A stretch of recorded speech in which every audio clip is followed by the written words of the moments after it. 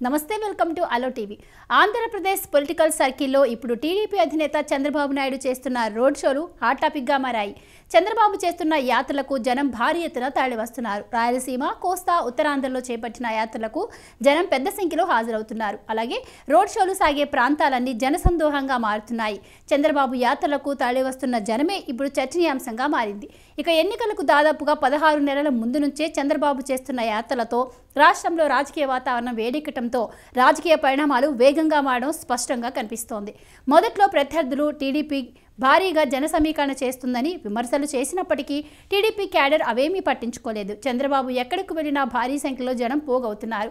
అయితే నిజానికి టీడీపీ శ్రేణులు నిరుత్సాహంలో కూరుకుపోయాయని ఆ పార్టీని నడిపించే నాయకులెవరూ లేరని నియోజకవర్గాల్లో నాయకుల ముఖం చాటేస్తున్నారని రకరకాల ప్రచారాలు నడుస్తున్నాయి. అయితే వాటన్నింటికీ సమాధానం చెప్పేలా రోడ్ షోలలో భారీగా జనం పోగవుతున్నారు. అయితే ఇదేదో ఒక్క ప్రాంతానికి పరిమితం కాలేదు. రాష్ట్రంలోని అన్ని ప్రాంతాల్లో చంద్రబాబు యాత్రలకు భారీగా స్పందన లభిస్తోంది.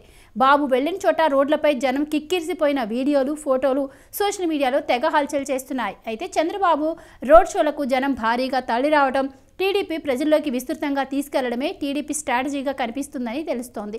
డ్రోన్ ఫోటోలు వీడియోలు టీడీపీ శ్రేణుల్లో కొత్త ఉత్సాహాన్ని నింపుతున్నాయి. ఇక టీడీపీ పార్టీల్లో నిస్తేజంగా ఉన్న కార్యకర్తల్లో ఉత్సాహం నింపడానికి ఇవి బాగా పనికొస్తాయని చెప్పాలి.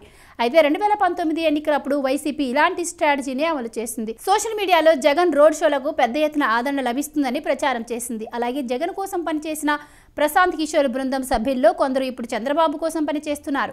పబ్లిక్ పల్స్ మార్చడంలో భాగంగా తాము బలంగా ఉన్నారనే విషయాన్ని జనానికి చెప్పే ప్రయత్నం చేస్తున్నారు. అదే సమయంలో ప్రత్యర్థులపై వ్యతిరేకత పెరగడం వల్లే తమ వైపు జనం చూస్తారనే క్యాంపెయినింగ్ చేస్తున్నారు. ఇక చంద్రబాబు రోడ్ షోలలో జనం పెద్ద సంఖ్యలో హాజరవుతున్నారని ప్రభుత్వంపై వ్యతిరేకత పెరుగుతుందని ప్రచారం చేస్తోంది. అయితే గతంలో జగన్మోహన్ రెడ్డి కూడా ఇలాంటి ట్రిక్కులతోనే జనాన్ని ఆకట్టుకున్నారు. ఇప్పుడు అదే స్ట్రాటజీని టీడీపీ చేస్తోంది.